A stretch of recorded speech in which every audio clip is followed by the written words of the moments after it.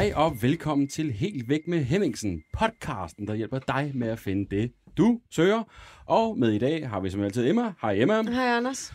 Og ugens medværter er Anna og Oliver. Tada! Velkommen til. Tak.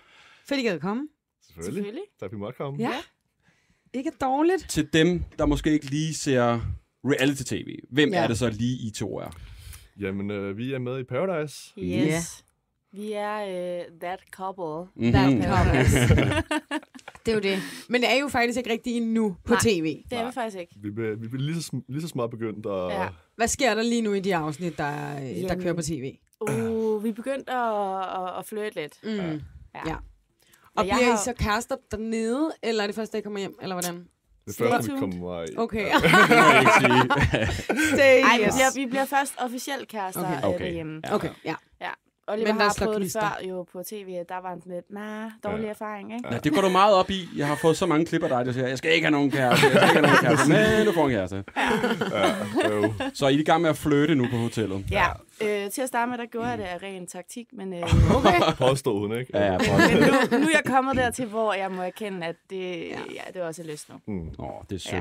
Det er sgu Det er meget sødt. godt.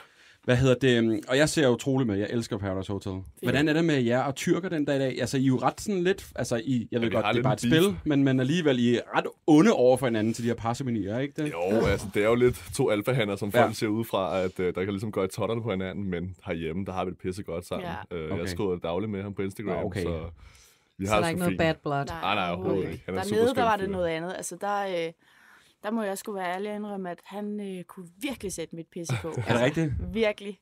Hvordan er det også, når man er sammen med sådan en masse fremmede mennesker til at starte med, over, så bliver man pisse sure på hinanden, man er sammen med dig en drift. Fuldstændig. Altså, Ej. og man, øh, man, kan jo ikke, man kan jo ikke være i fred. Nej. Altså, der er jo ikke et sekund, hvor man lige siger, back off, jeg skal lige sidde her alene. Altså, så kommer der et eller andet. Ja, Ja. Ja. Man kan ikke lige tage en lur og sådan noget der. Så. Nej. Kan man ikke det? Ej, så ringer på telefonen. Oliver, op og stå. Er det rigtigt? Ej, det er sindssygt. I har heller ikke aircondition på værelserne, vel? Nej, der, det er der også er bare. Jeg lægger mærke til mange ting. Jeg Ja. har jo faktisk været der også på et tidspunkt.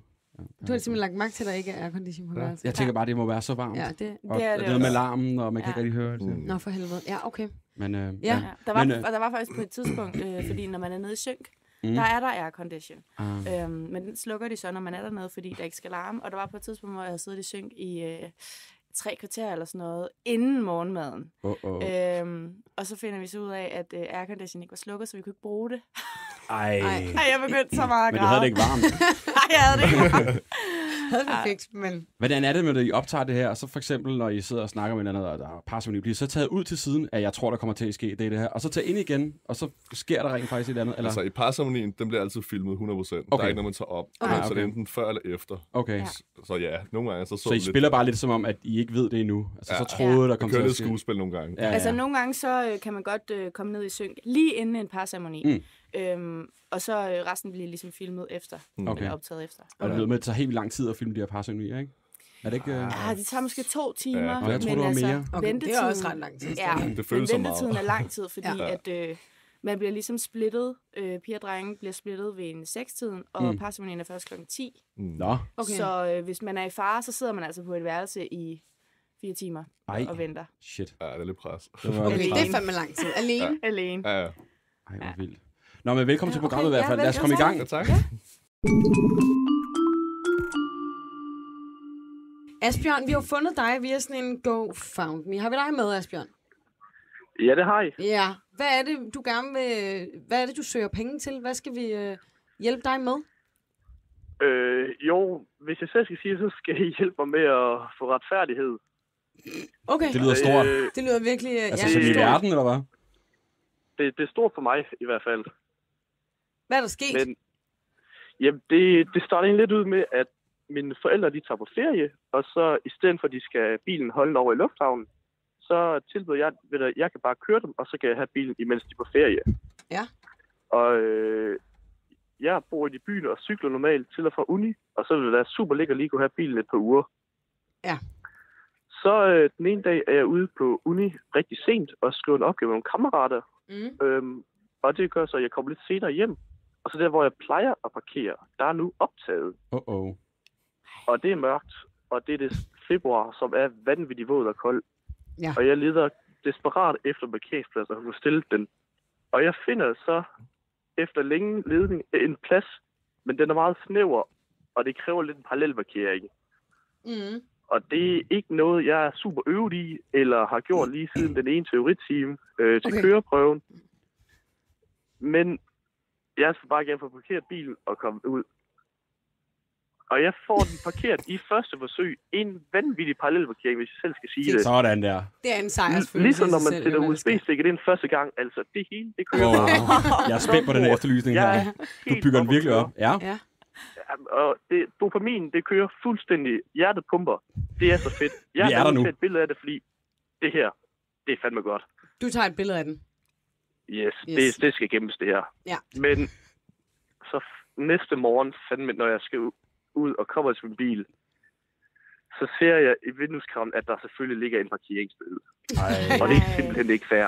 Ej. Jeg er så højt op at flyve dagen inden, og så, så lavt nede nu. Hold Ja. kæft, mand. Altså, hvad, men, men, men du, har, du må have holdt ulovligt. Altså, har du ikke lige tjekket det inden? Det var mørkt, og det regnede, så det var ikke noget, jeg var Ja. mest opmærksom på. Og så vil jeg sige, det er Odense. Der er meget vejarbejde med den letbane. Jeg er sikker på, at de har sat det skilt op natten over. Okay, du tror simpelthen, det er sådan en baghånd. Men Asbjørn, hvad er det, du søger? Altså, du Ja, vil hvad er have, det, vi skal er hjælpe det, med ja, Jamen, øh, ja, vi har jo så oprettet den for GoFundMe, og det søger, fordi jeg søger lidt økonomisk hjælp til at betale den her irriterende bøde, som Ja. jeg føler er uretfærdig. Okay.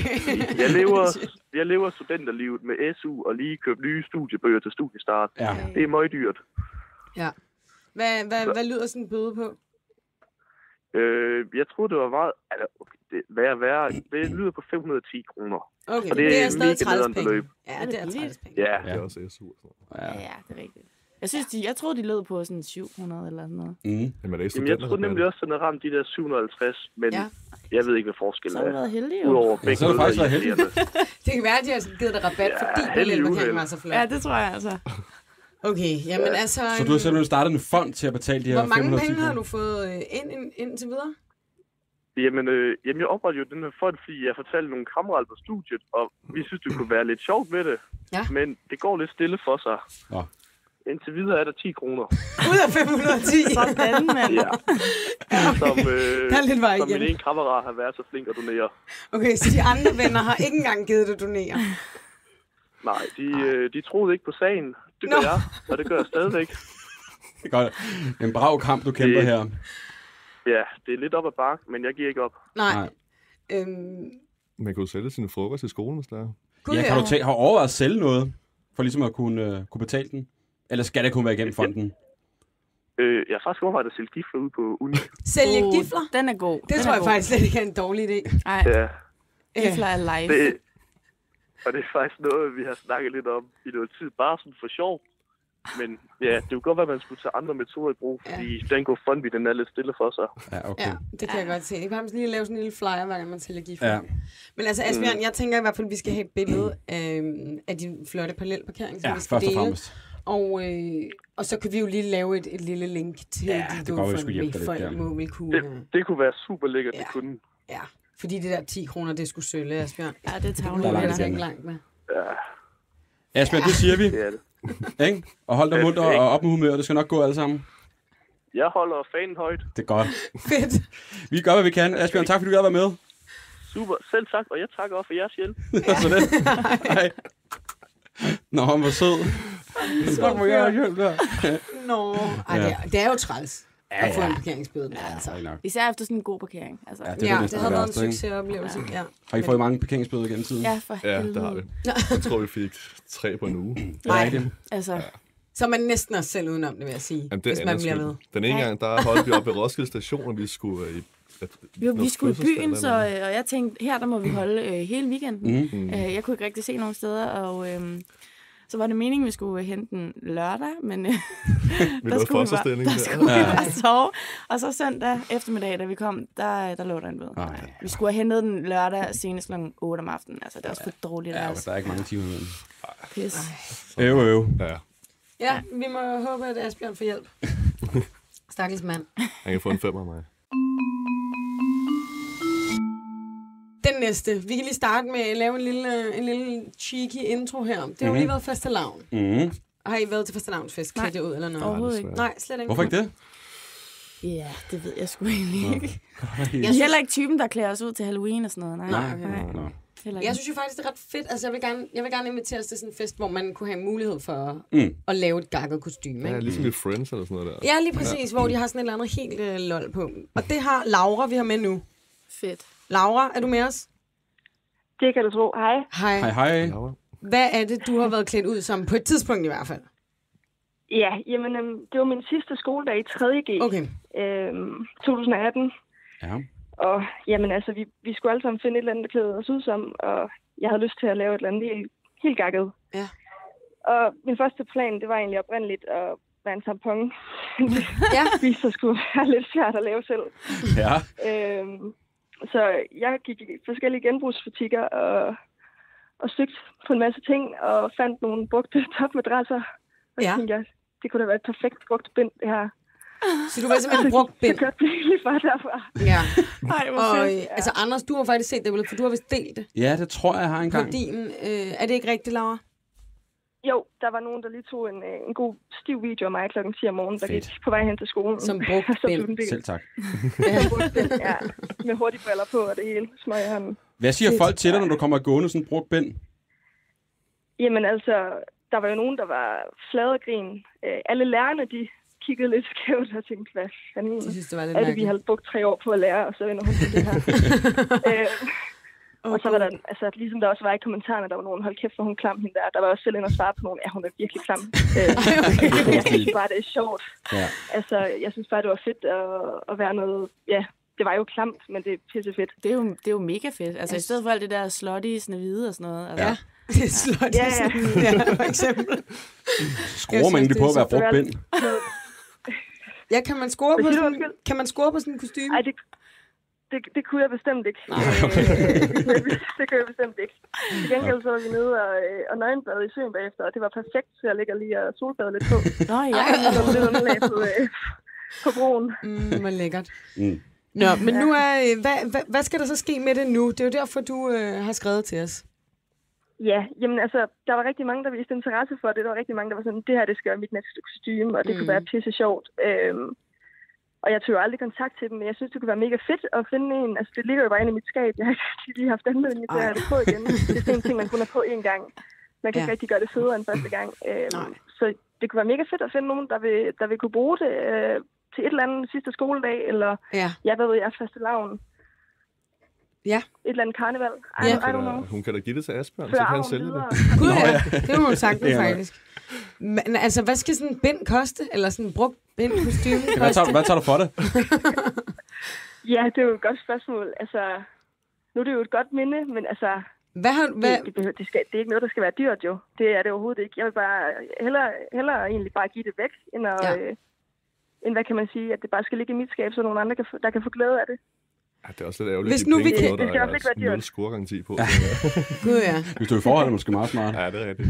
Vi har simpelthen lige haft, øh, vi har jo haft, vi har lige haft en igennem, Laura, som, øh, som søgte hjælp til at blive, øh, eller han have støtte til sin parkeringsbøde på 500 kroner. Ja. Hvis nu vi kan få solgt dit bindkostyme til 500 kroner, må vi så donere dem til Asbjørn.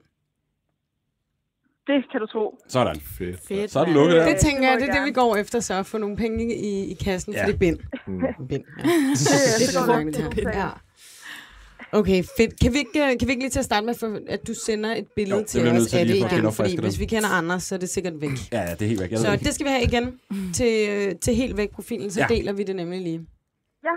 Jamen, øhm, jeg får fat i, i lidt forskellige materiale til jer. Fedt. Tak for det, Laura. Vi, øh, vi lader os høre fra os. Selv tak. Det er godt. God dag til jer. Hej. lige måde. Brugt bind. Ja. Ja, lækkert. Kunne du finde på at købe det, en af jer? Altså, Altså, Anna kunne godt bruge det, så kunne lige komme til at score, hvis der er. Mm-hmm. Nej, det er selvfølgelig rigtigt. Jeg køber det, Asbjørn. ja, Jeg det synes altså, det er et meget fedt øh, kostume. Hvad har I været som til faste lavn? I må jo have fejret på et eller andet tidspunkt. Øhm, jamen, til min sidste skoledag, der var jeg en, øh, en baby. Nå, Jeg havde, jeg havde fået min farmor til at øh, sy sådan øh, et lagen ind til et sparkedragt. Nå det lyder sgu da hyggeligt. nice. Det gør til sådan en farmor i gang. med Det vidste du ikke? Nej, Det er en helt ny. Ej, jeg var en af de der kedelige basics, så jeg var sgu en sammen En med? Bjarne. De var Det også gode. Dem var der det sgu også. De var i gode. Ja, De var gode. det er ikke dårligt. Hvem Mm. var du så, egentlig? Det har du spurgt om. Nå, men Det hvem var er den det? lille Hvad- er det nu, Nej, det kan jeg sgu heller ikke huske. Det. en Hvad de du der.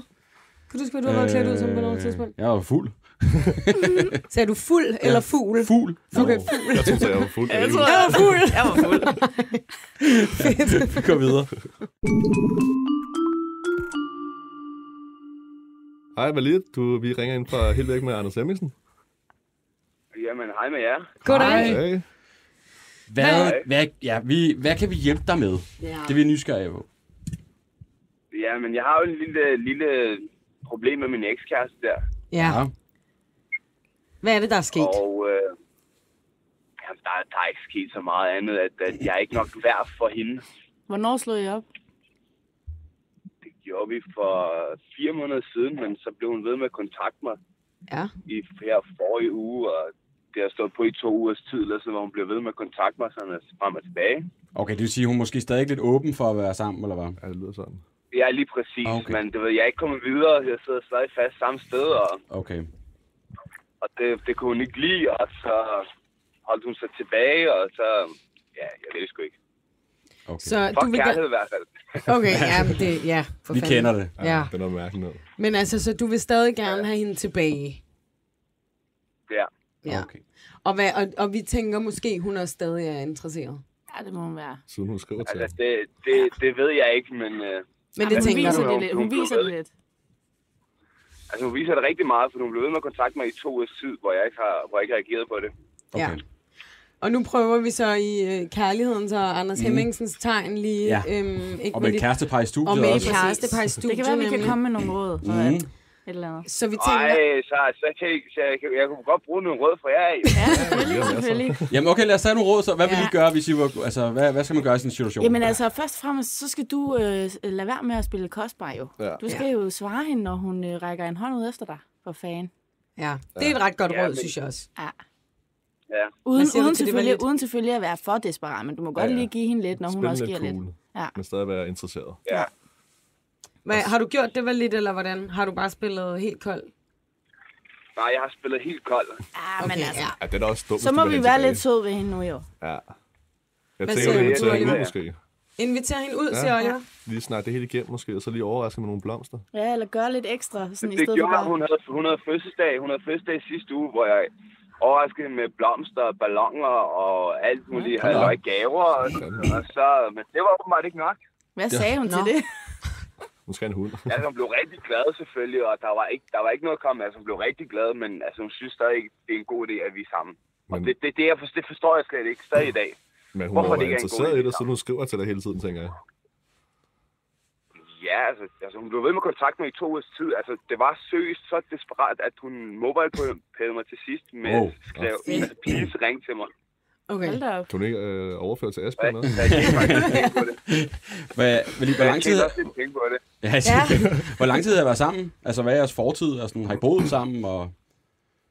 Vi har boet sammen. Vi har været sammen omkring 8 måneder.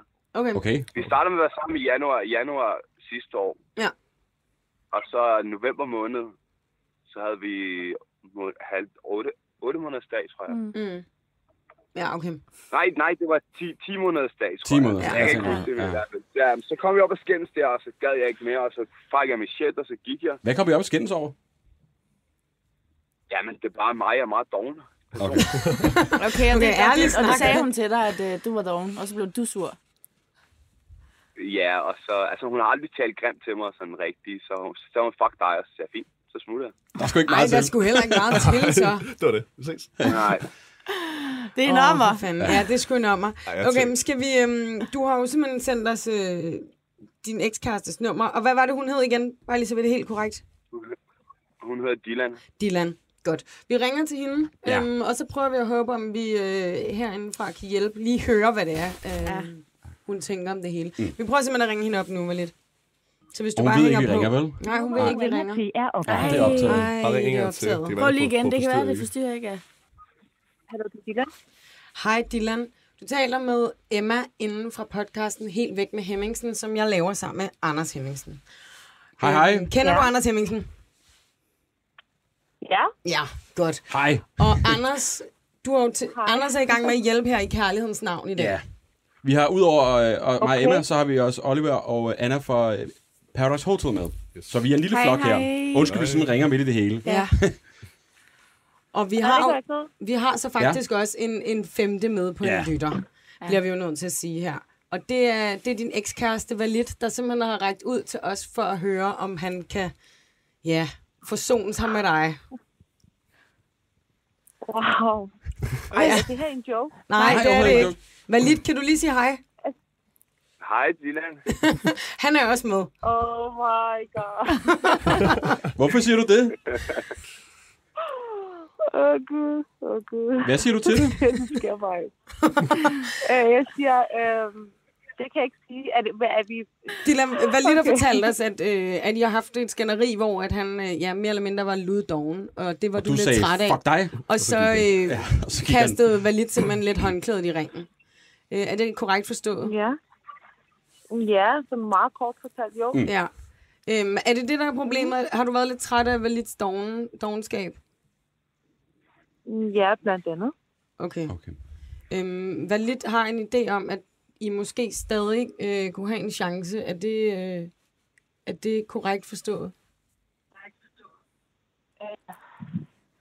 Altså, jeg ved ikke, hvad jeg skal sige til det her.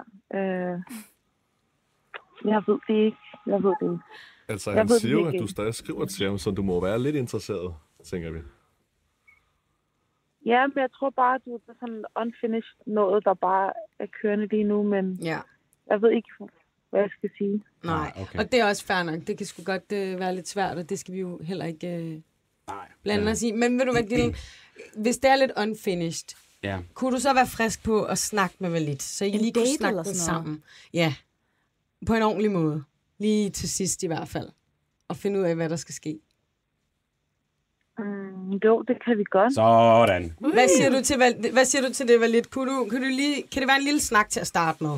Så kan I se, hvad der skal ske derfra. Ja, men jeg har jo ikke så meget at sige, andet end Hvad jeg lidt? selvfølgelig nok skal ændre mig. Ja, Okay, Ja. Godt. Må lige, ikke? kan I høre mig? Ja, det Ja, kan vi ja. godt.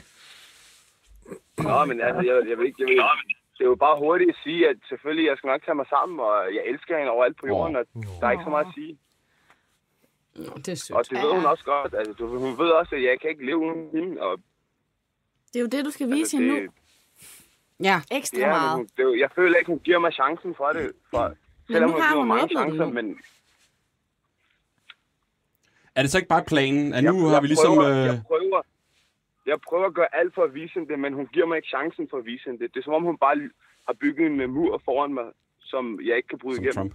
men nu siger... Hvem sagde som Trump? Var det dig? Var det dig? Ja, det gør det. Valit. Nu siger Dylan jo, hun vil godt, hun vil godt mødes og snakke, så jeg tænker, det er der, I tager den, ikke? Jamen, at de kan jo høre hinanden begge Ja. to, jo ikke? Altså, hvad, er det ikke bare lige her til sidst lige Jo. at sige, prøv at høre, øh, kan I ikke lige tage den, det sidste her, hvor I lige aftaler, at, øh, at I lige mødes? Det må I gerne lige øh, sige til hinanden nu her.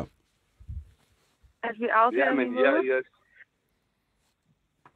Ja, Ja. vil I sige, Jo. sige, hvad der skal siges? Jo. Ja, men jeg, siger- jeg siger bare, at, at de selvfølgelig, jeg skal nok bevise hende for, at jeg nok skal ændre mig, og at mit dogenskab nok Du skal kommer snakke væk. til og, hende. Og og jeg elsker hende. Ja. Og jeg elsker hende overalt. Nå. Altså, det, det ved hun også godt. Det er jo ikke, fordi jeg holder noget skjult over for hende, og jeg elsker hende rigtig, rigtig meget.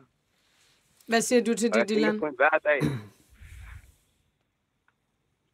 At, øh, jamen, jeg tænker, jeg ved det ikke. Øh, at jo, lad os tage en snak sammen. Sådan. Det synes jeg det lyder synes som vi en god idé. Det er en god start. Ja. Det er det i hvert fald. Øhm, og så ønsker vi jer alt muligt held Ja, og lykke i jeg er hvert fald. sikker det på er nok, det, det, vi kan sige øh, det skal gå for det nu hele. i hvert fald. Ja. Krydser fingre for jer. Okay. Ja. Det er godt. Undskyld, vi ringede til dig sådan Ja. lige ved det hele, men øh, jeg håber, I finder sammen igen, ikke? For en masse børn. Ja. Yes, Tak, tak for det. Nej, det gør ikke noget. det er godt. Hej. Ha' det godt. Hej. Hej. Ja, Ja, så prøvede vi også det, Anders. Det var, det var, Det var- meget akavet. det var sygt akavet, Jeg, vil- jeg vil faktisk uh, Jeg sige, fik det det var mere, varmt. Ja, det var mere akavet for os, end det var. Ja. det er også fordi, de, sådan, de, altså, de var med samtidig. Altså, de, Ja, ja. altså, det er ligesom, de bagtalte hinanden, mens Ja. de var Ja, ja. Ja, Altså, ja. de snakker ikke sammen, de til os om den anden. Ja, ja. Ej, De skal måske bare allerede der, der er beviset på, at de skal kommunikere. Ja. Ja. Ikke? De er Ja, vant til ja. at skrive til hinanden Ja, ja, øh, de bag. kan slet ikke sidde der. Det, det var lige lidt kærestedrama. Ja. Ja, for helvede. Tror I, de øh, finder sammen? Ja. Vi går videre. Nope. Nej. Jamen, lad os springe ud i det. ja, det synes jeg. Har vi den fortvivlede far med? Ja. Ja, Hej. goddag. Hej. Hej, hej. Hvordan går det? Jamen altså, hovedet op og benene ned. Sådan. Men, uh, min datter er jo flyttet hjemmefra, og hun kan ikke finde ud af at lave mad. Jo. Det er jo lidt Ej.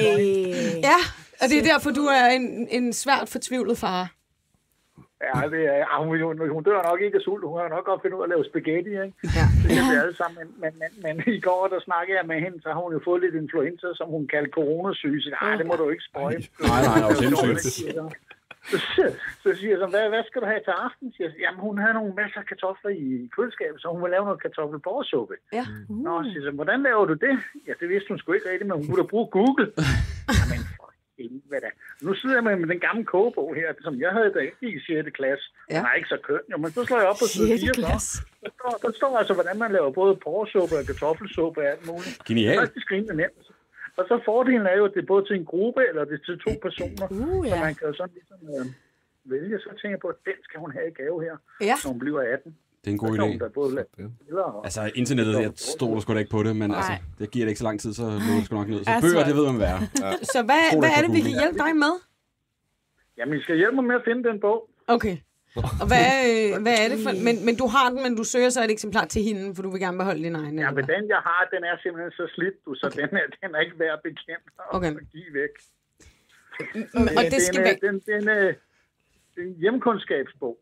Det er Inger Madsen det er og. Dorte Petersen, som har lavet den, og de har lavet den fra 70 til 81-82 stykker, tror jeg. Det er en gammel stødesag, vi har med at gøre.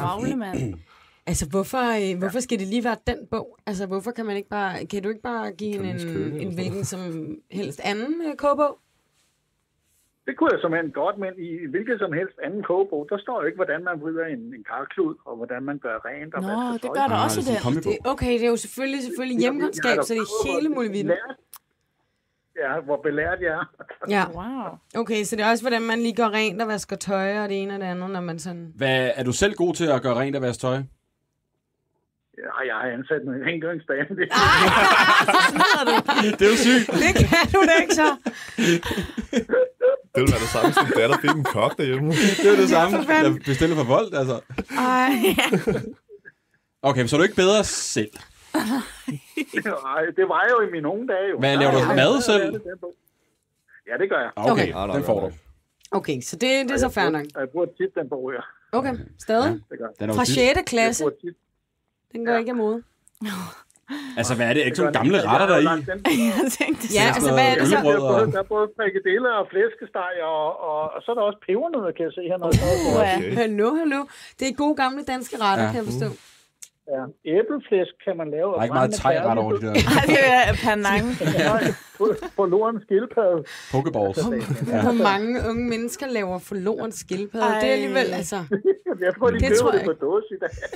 det tror jeg heller ikke, de gør. Det tror jeg heller ikke. Føj. Nå, altså, Nå, vi, okay. vi har i hvert fald noget du at gå siger efter. Inger Madsen og Dorte Petersen Jems. hjemmekundskabsbog. Skabsbog. Skabsbog. Bog. Fedt. Okay. Hvad får vi du sør, hvis vi finder den? Jamen, så giver jeg dig gladeligt på flaske rødvin. Så- Ja, fedt, fedt, ja, ja. fedt. Så kommer vi til middag. Den Ja. første middag.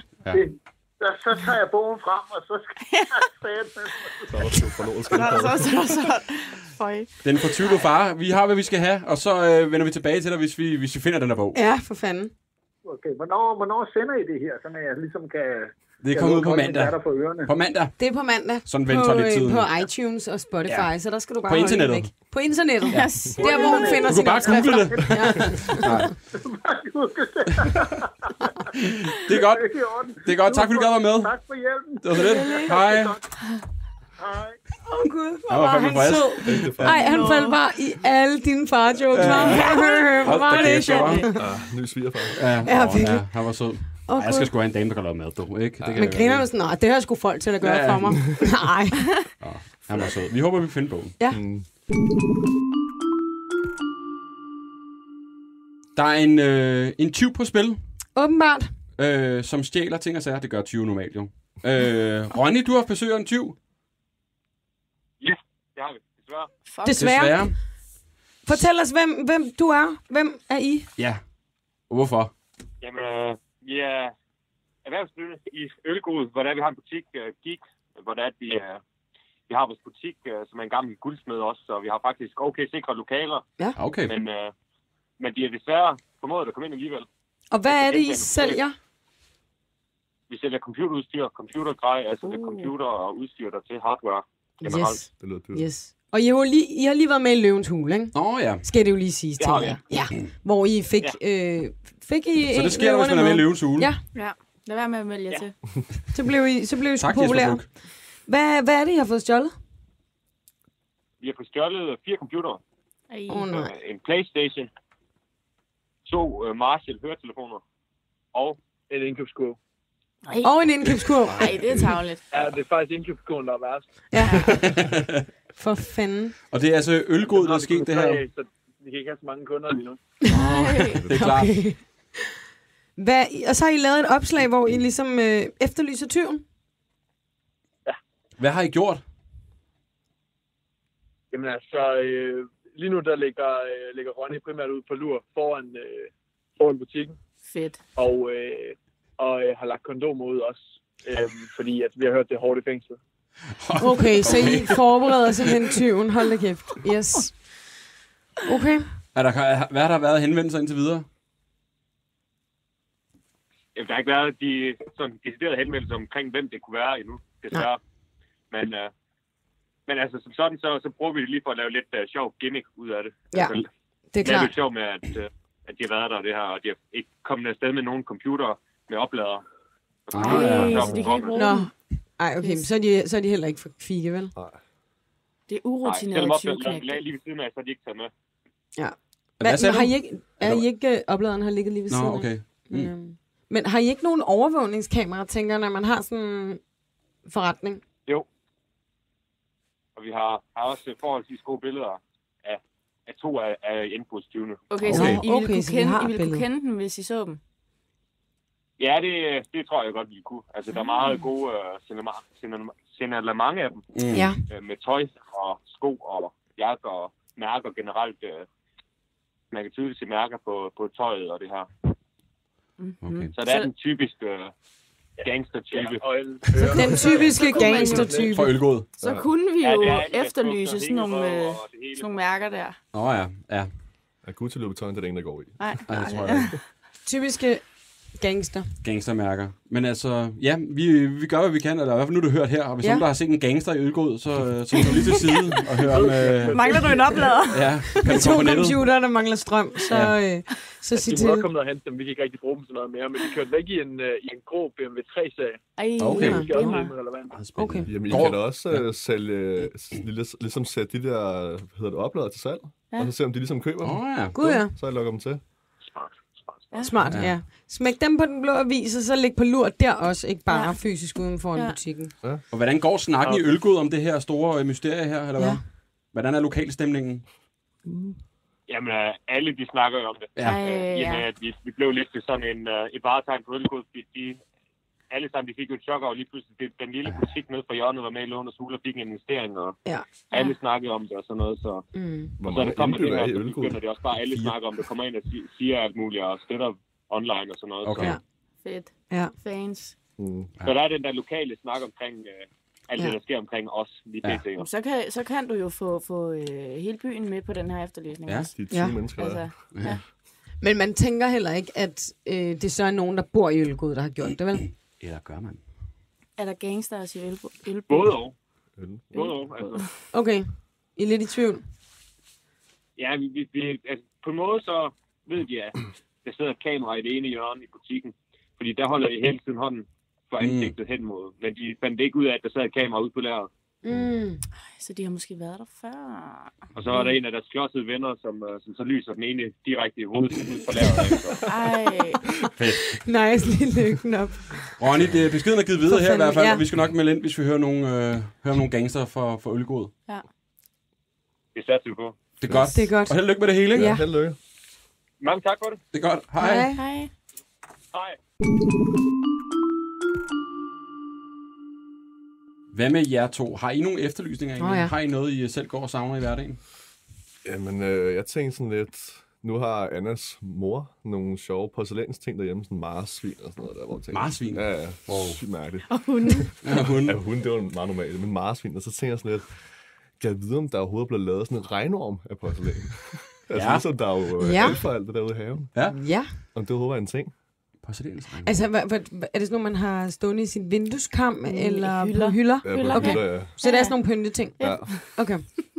Jeg kan faktisk sige, at jeg har... Øh, Du har en regnorm. Det lyder meget mærkeligt. Jeg fik en porcelæns øh, slange i julegave med lillebror for to år siden. Hvorfor er I sammen så mærkelige? Ej, det er så underligt. Så er, altså, ja. Så der, det findes. Hej Sebastian. Hej med jer. Nej. Hvad kan vi hjælpe dig med i dagens anledning? Jamen, det er sådan, at øh, jeg søger faktisk en kæreste. Ja. Så jeg tænkte, at det var jo lige, I var de rette til at hjælpe mig Ja, du har havnet på den helt rigtige hylde. Yes, sir. Så øh, altså, jeg går efter lidt en, der må godt være noget, der må gerne være noget krop, men stadigvæk, I, I ved, sådan ikke, ikke tyk, vel? Men, og så øh, i en alder af 18 til 22. Ja. Fedt. God alder. Ja, du skrev, du søgte en lidt en buttet Måske pige. sådan en erotisk buttet job. Ja, og gerne blondine. Okay. Nå, Okay. Hvorfor lige det? Det, det, det kan jeg bare godt lide. Ja. De kan også noget. Det er, Hvorfor ikke? det er bedre end det der mørke hår. Hvad der. mener du, mand? For fanden. Sebastian, hvad er det? det, det, det, det skal man ikke tage personligt. Nej, nej, nej, nej. Hver sin smag, ikke? Det er godt. Hvad, Sebastian, hvad er det sådan en butte pige kan? Altså, hvorfor er det lige, det skal være sådan en? Men det tror jeg, der er bare et eller andet frækt over dem. Altså, prøv at, altså, jeg ved ikke hvad, der skal bare være noget, man kan holde ved, og man, Mm. Det ser bare godt ud. Fedt. Enig. Det er også derfor, jeg fylder Anna op med mad. Han prøver, han prøver Prøv at, decideret at jeg, fede mig jeg, op. har også selv, jeg har selv lidt øh, farmave, og prøv at, jeg er begyndt at gå i sol, ikke? Og bare fordi jeg skal, eller farmaven skal være klar til sommer. Så jeg lover jer for, det er bare, altså, det er super det her. Det er super. Sebastian, du lyder som en øh, virkelig nice fyr. Hvordan Ja. kan det være, du er single? Det var fordi, jeg havde en kæreste, men det gik lidt i vasken. Åh oh, nej, hvor- hvorfor gik det i vasken? Det, altså, du ved, når man er ung, og så man er fyr, så, så Ej, er det bare træls nogle gange, sådan noget der. er der for mange Hvad så, så? og, og så fungerede det ikke helt, og så gik det jo ligesom i vasken, og så... Øh, Var hun for tynd? det, det, er jo det er godt og vel et år siden. Det, Nå. er- Ah, okay. Så du er meget ældre nu. Ja, nu er du klar til at slå dig ned. Han har taget sol og det hele. Ja. Er. Men jeg, jeg, jeg, farkrop. altså, jeg, skal, jeg skal have en pige, der har styr på sit liv også. Okay. Har du Hvad, selv hvad laver du selv, ja? Jamen, jeg, øh, jeg, laver, jeg går i skole Ja. på, i Ribe, og så, øh, eller på sidste år. Og så øh, laver jeg meget i fagbevægelsen i HK, hvis I kender det. Okay. Okay. Og der Vel- har jeg faktisk også elevplads her per 1. september i København. Nå. Okay. Ja, ja. Velkommen til. Skal din kæreste så være fra København? Det, altså, så længe hun er klar på et øh, langdistanceforhold, så er jeg også. Men ellers, altså, det vil ikke gøre noget, hvis hun kommer derovre fra. Okay. Nej. Okay. Jamen er det ikke bare at ændre din profiltekst på uh, Tinder? Søg ja. buttet pige? Ja. Prøv, prøv at høre, jeg har prøvet, jeg prøver også det der med sol og farve, ikke om, men prøv, altså, Men, men måske, måske du skulle prøve øh, nogle andre vinkler på dine billeder så. Og et andet filter måske. Er ikke det der nedefra op? Det er Ja. ikke så godt. Ja, du skal, tage det, du skal finde din gode vinkel. Hvordan ser din uh, Tinder-profil ud nu, Sebastian? jamen, den ser faktisk, altså nu er det sådan, jeg også spiller lidt ishockey. Okay. Ja. Okay. Så, og, og prøv at høre, altså pigerne, ikke også, de kan virkelig godt lide det der. der det er tit, ikke også, så, så liker de bare, så, så er de bare sådan lidt, så nu når jeg spørger, om de skal med på eventyr, eller hvad de skal, ikke også, så er de bare sådan, jeg kan bare godt lide din sport. Og så, er jeg bare, så, så derfor, derfor matcher vi, eller hvad? Okay, fedt. Det lyder som en fed, fed samtale, du har. Fanden, Sebastian. Jeg kan bare godt Altså, lide der- ishockey. Hvad? Du må jo tage dit uh, udstyr på, når du ligesom får en date, så. Jamen, det er jo det, altså. Ja. Jeg, jeg, ved, ikke- jeg ved ikke, hvad det er, der gør. Anna, hvad skal han lave op? Hvad skal Sebastian lave op på sin profil? Altså, du forestiller dig, hvad står der i teksten egentlig? Det Ja, vil jeg høre. det vil vi gerne vide. Jamen, der står... Øh, puha, nu skal jeg lige hurtigt tænke mig om. Ja.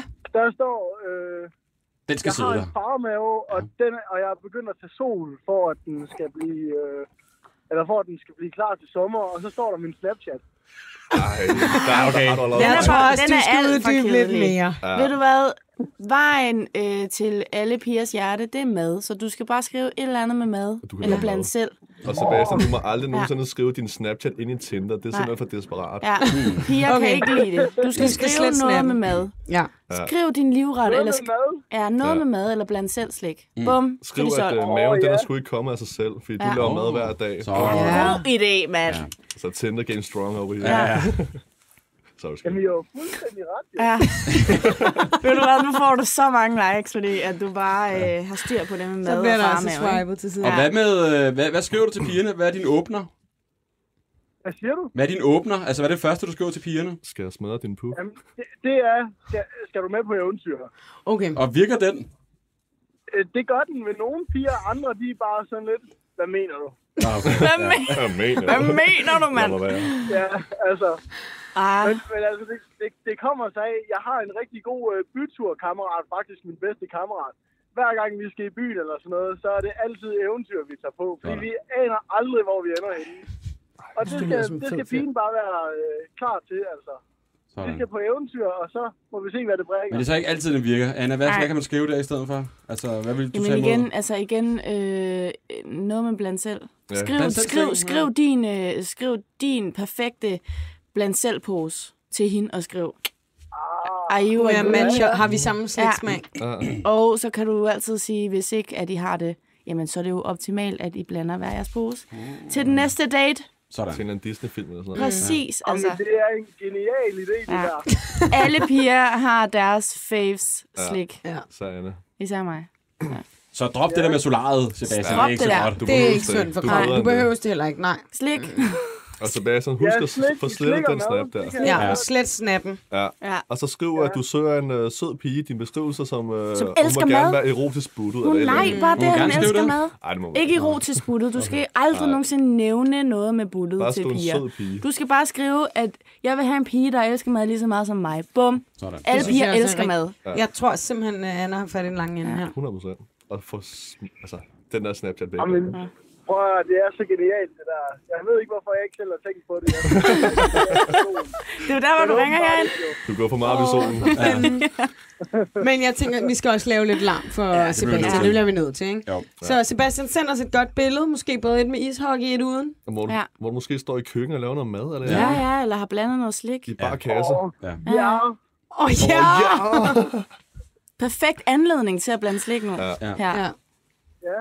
Det, skal vi, øh, det sender du bare til os, og så, øh, så tænker jeg, at vi deler det. Der går ikke lang tid. Laver lidt larm, så, Så, må der øh, være så er der en penge. Så der- kvinde med former derude, der hopper på. Altså, man Præcis. burde faktisk... Ja, det Sebastian, jeg tænker også. faktisk, at øh, du tager et billede, hvor du står og bl- laver blandt selv slik, og du laver mad, og så ishockey, og så et normalt billede. Sådan. Bum. Ja, der har vi Rigtig det. mange billeder der. Der var den, Sebastian. Opskriften. God idé. Sebastian, held og lykke med det, ikke? Ja, og vi vender tilbage til dig. Tusind tak. Det var så helt. Ha' en god dag. Hej. Hej. Hej. Yes. Sådan. han sød. Ja. Ej, hvor var han sød. Ja, han var fandme nice. Han var sådan lidt nuttet. Ja, helt Helt Ja. vildt nuttet. Anne og Oliver, det var faktisk for noget i dag. Ja. Jeg håber, I. Det var simpelthen øh, sjovt. hyggede jer, Bestemt. og det var til at, have mere God råd, synes jeg. Altså, der er blevet råd. givet i dag. Det må Det synes jeg også. sige, der er givet. Det synes jeg. Sådan, der bliver nok noget. Ja, lige- Ja. Ebba, hvor er det, man øh, kan sende sine efterlysninger hen? Man skal skrive til os på Instagram. Helt væk med Hemmingsen. Mm-hmm. Vi mangler faktisk lidt nu. Vi kunne Nå. godt bruge noget fornyelse. Er vi i bund? Ja, vi er mm. lidt mhm. i bund med, med arkivet, mm. så at sige. Øhm, så nu skal folk skrive ind. Så skrive ind til ja. Og gerne også det, ligesom vi har haft i dag med lidt parring. Mm. Ja, det er Pardrama. Ja. Mm.